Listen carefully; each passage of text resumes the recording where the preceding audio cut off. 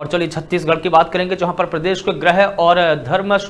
पर्यटन मंत्री ताम्रध्वज साहू अचानक राजिम पहुँचे, जहाँ पर उन्होंने मेला स्थल का जायजा लिया है। मंत्री ताम्रध्वज साहू ने तमाम कांग्रेस के नेताओं और कार्यकर्ताओं के साथ भी बैठक की है। इसके साथ उन्होंने ज़िले के कलेक्टर, एसपी और आला अधिकारी साठ एकड़ में बन रहे नए मेला स्थल पर पहुँचे, जहाँ पर मंत्री ने डायग्राम के अनुसार काम में तेज़ी लाने के निर्देश अधिकारियों को दिए हैं। साथ ही पुराना मेला स्थल में चल रहे निर्माण कार्यों का निरीक्षण कर 2023 में होने वाले राज्य में माघी, पुन्नी मेला को लेकर अधिकारियों से चर्चा की है और ज़रूरी निर्देश दिए हैं। सांस्कृतिक कार्यक्रम वालों के लिए मेकअप का लेडीज़